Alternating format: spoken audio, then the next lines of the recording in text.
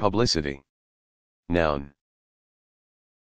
1. Advertising or other activity designed to rouse public interest in something.